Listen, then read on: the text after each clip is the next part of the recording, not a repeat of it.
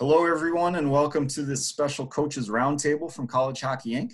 I'm Nate Ewell from College Hockey Inc., and I'm joined by three coaches who are members of our board of directors Derek Schooley, the head coach at Robert Morris, Ben Guite, the associate head coach at the University of Maine, and Leon Hayward, the assistant coach at Colorado College. Gentlemen, welcome. Obviously, we're all living through an unprecedented time here. We've gotten very comfortable with this Zoom technology as the pandemic seems to have impacted every facet of, of life. And, uh, and that includes college hockey recruiting, as you guys know. That's what we're going to cover today. We're, uh, we're currently in what the NCAA calls a dead period for recruiting, which extends through August and could even go longer than that. Derek, I'll start with you.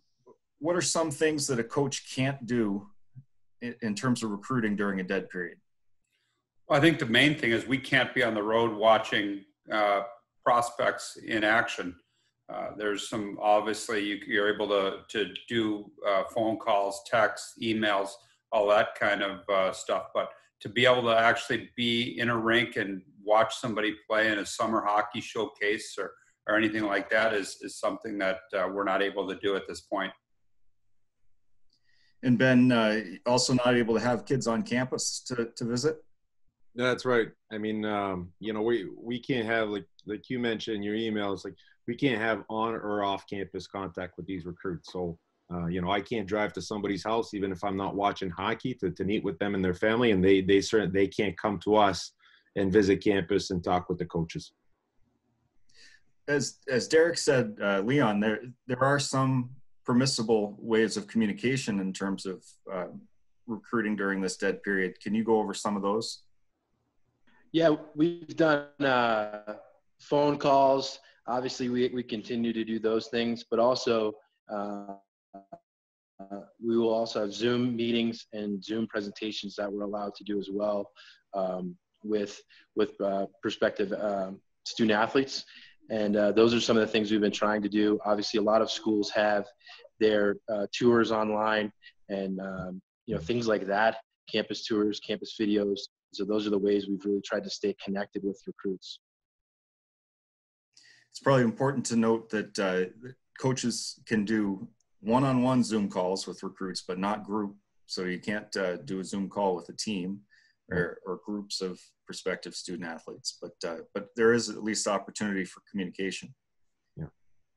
Derek, even though you guys are restricted from going to to any of these events. Hockey's starting to be played again at camps and showcases and junior team tryouts. What advice would you give to players participating in those, even though you guys as recruiters won't be there watching? Well, that's the the beauty of things right now. We are able to watch via internet and via uh, different things like uh, like we're doing right now, whether it's through Facebook Live whether it's through Hockey TV, whether it's through Live Barn, we are able to watch.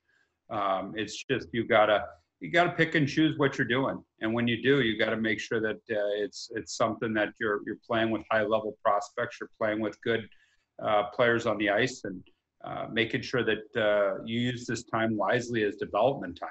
Because once uh, seasons are started back up, we are going to come out. We are going to be able to watch on on, uh, on the internet. We're, you know, I think uh, hockey TV and, and those subscription based are probably going to get a lot of money from college hockey coaches uh, once their season starts. So I think it's something that uh, you have to make sure that uh, you're prepared for the season, but you also got to make sure that uh, you're doing the right things in the summer because there are a lot of things going on that uh, we probably won't see or we won't be able to do and won't be able to see live barn or anything like that. So I think just be pick uh, be picky with what uh, you do in the summer and use this time for skill development.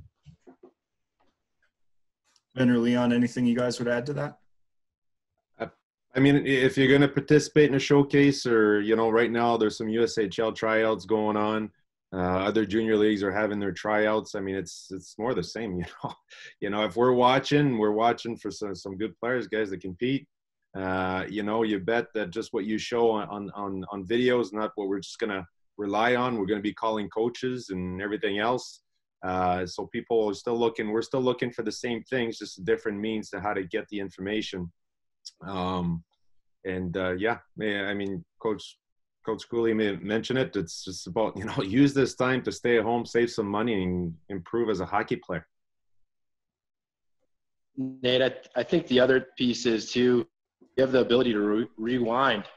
Mm. So put your best foot forward all the time. And, uh, uh, you know, because I, I was watching a game this morning and I had a chance that you know, I was like, you know, something happened and I wanted to just go back and check that. So, mm. um, if anything, we can be a little bit pickier. Right. You know, I, I often hear coaches complain about summer hockey and, and all the recruiting that you guys have to do at showcases. I, I think we'd all like to be back to normal and, and have a normal summer, but could there be some benefits to a summer with fewer showcases? No question. I think no question. I, uh, I mean, there, there's so many, so many times in a summer you see the same player like five or six times at different events, and by the time you see him in August, they got nothing left in the tank, and that's when you should feel the best. You know, that's that should be the beginning of your season when you have a hop in your step, and just uh, just being able to be fully refreshed before the season starts and feeling confident and that, that's that's the aim of a summer should be for any hockey players any athletes for that matter. Um, so definitely take the time. If you have you know if you're if you're being invited to certain tournaments you want to play with absolutely go ahead. Understand that you know no one in the stands can recruit you. Uh, you know we're sort of not looking at social media posts to see who played the best in a certain tournament. We still got to trust our eyes and, and and our instincts. So uh, you know, I wouldn't waste a lot of money going around the country trying to, to, to you know, for exposure per se. A lot of kids do value those chances to be seen by you guys in the summer. Derek, what, what would you say to a 17 year old who's feeling anxious because they haven't had the opportunity to be scouted or recruited this summer? I think that you've got to make sure that you as Ben said, you got to put your best foot forward to be prepared and be ready to go once the season starts because there will be a season. Uh, we will be playing hockey again and we will be recruiting student athletes. So you've got to make sure you're in the best scenario. And um, I think everybody gets anxious at some point with recruiting, whether you're at 20, whether you're 16, you've got some some big decisions to make and you want to put your best foot forward in those in those scenarios that you're put in. So make sure that you're ready. Make sure you you've honed your game. Make sure that you're uh, ready to to be a, a, good teammate. You're ready to compete hard and and uh, jump back into it because uh, uh we are going to have to make some decisions and how we're going to make those decisions probably aren't going to be the ways that we used to. We will get out to games, but I think the one thing that everybody's uh, been able to do and and Leon talked about it already of, re- rewinding and watching. I think we're getting more and more comfortable using technology uh, to communicate, but we're going to get more and more used to using technology to watch events. So I think that uh, be prepared to start the year and be prepared to be ready to go because uh, somehow, whether it's watching a game from the middle of last year or watching a game uh, live, we're going to be able to see it play. I, I think, not like anybody's falling behind here, right? No, no one's falling behind. I think that's the biggest thing kids have to remember is you're not behind anyone else.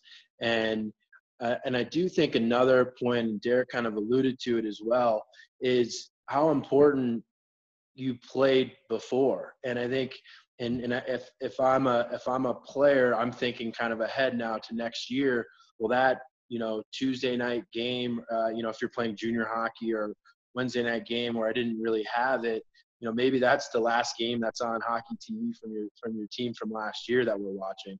So it, it goes back to that old, you know, that old adage of, you know, you got to bring it every night.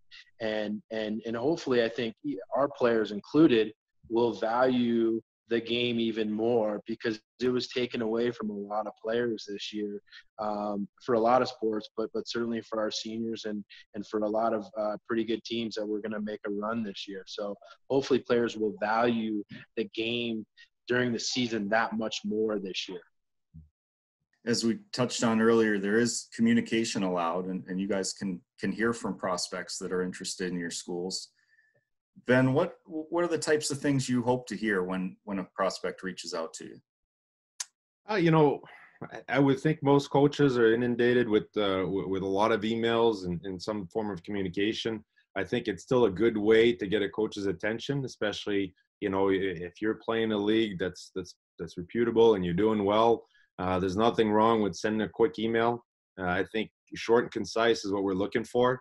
uh, you know, where you're playing, who's a coach that we can call for reference. If you're going to make a video of yourself, make it short and sweet. You know, give us a, a sense for for for your skill level, um, and uh, just kind of go from there. I mean, like I said, short and sweet. We're getting a lot of emails, but uh, and that applies for all the time. Um, but uh, that's that's what I like to see anyway. When a, when a recruit reaches out, that's that's what has the most impact. Derek, I imagine your answer is reach out to my assistant coaches, but uh, beyond that, what are, you, what are you looking to hear from? Well, you know, the one thing I, I will say is there's this new thing in, in all of uh, the computer and uh, uh different programs called spell check. It's, it's also, you know, you also get a chance to see what is being sent to you and how much time they put into it. And, you know, I don't want to, uh, uh, get a, an email that says, I'm really excited about playing for the, the Black Bears. And uh, at the end, say where it says, uh, go Tigers. You know, I want to get it.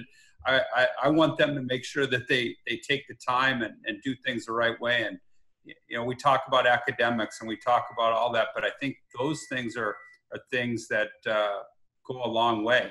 And, uh, you know, you want to make sure that you, you put your best foot forward, but as far as your player, but you also got it as far as your details and your habits and making sure I, I don't get a, uh, an email that says, dear coach Hayward, uh, really is, is something that I think the, the players, and I think we've all got them. I think we all could say that we've got that.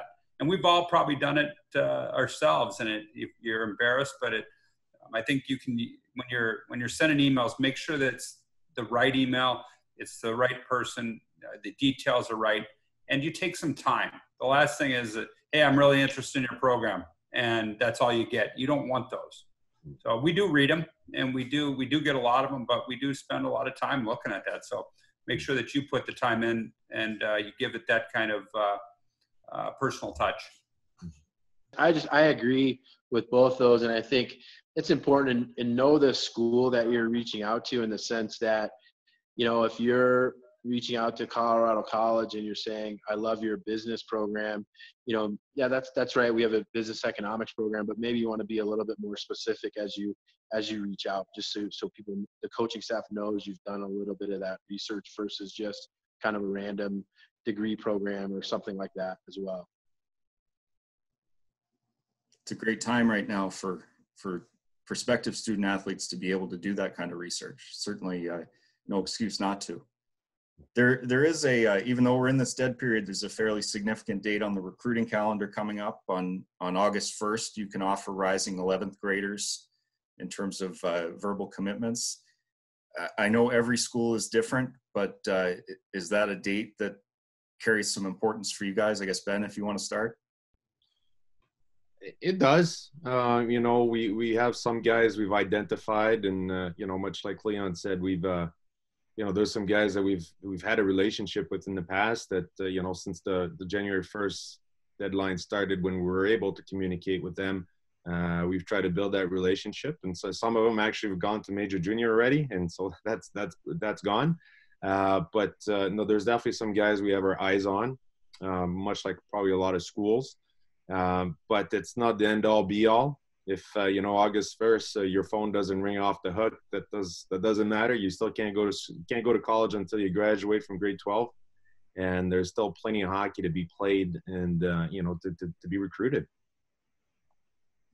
Yeah, I think the the one thing Ben said is we're all uh, looking at dates, but we also um, I think the we want the best players in college hockey.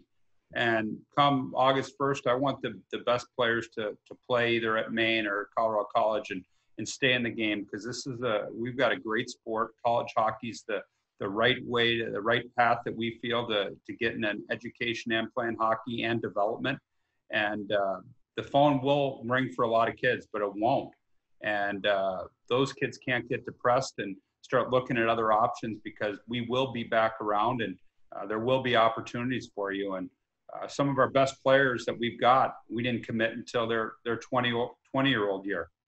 And uh, I think we've all got those stories that they were passed by numerous times and nobody could pull the trigger, and they ended up being some of our our top all time players. So don't get uh, depressed and, and don't lose faith in the college process if if uh, come August 1st your phone isn't ringing because college hockey is the right path and uh, it's not for everybody but uh, if it if it's for you uh, give it some time and be have some patience and no not people really aren't taking a you got to be patient at this time. Don't worry about what your your teammates doing. Don't worry about what uh, your uh, competition doing your competitor. Take your own time find your own path and and forge it that way. I agree 100% uh, with that. Um, you know i think we kids often get caught up with what other kids are doing. And, and really once you start moving into you know high school and junior hockey you got to you know chart your own path. Even though you're on a team with with someone else and other players you really have to chart your own path and be and be okay with your process.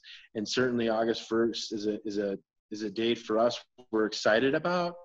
But um, we also have uh, had some really good conversations as a staff that we would rather be late and miss than shoot and miss terribly. And and I think that's really important for us in our process now.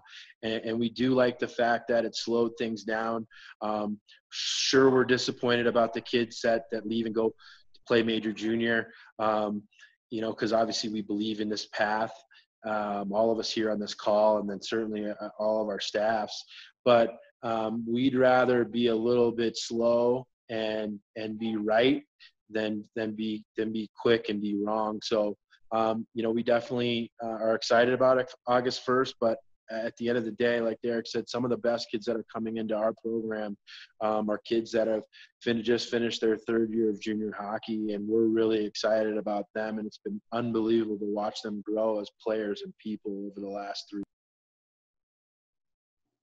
patience is probably the the key word that comes up in recruiting no matter what time of year no matter what situation and and really given the the dead period and the situation we're in it's probably more important than ever so uh, thank you guys for for reinforcing that thank you guys for taking the time uh, if anybody has any further questions about what recruiting in the dead period means certainly feel free to reach out to college hockey inc and we'd be happy to uh, to answer those but hopefully this has been uh, been helpful. And, and I know, uh, speaking on behalf of CHI, we really appreciate the three of you taking the time to do this. Thank you.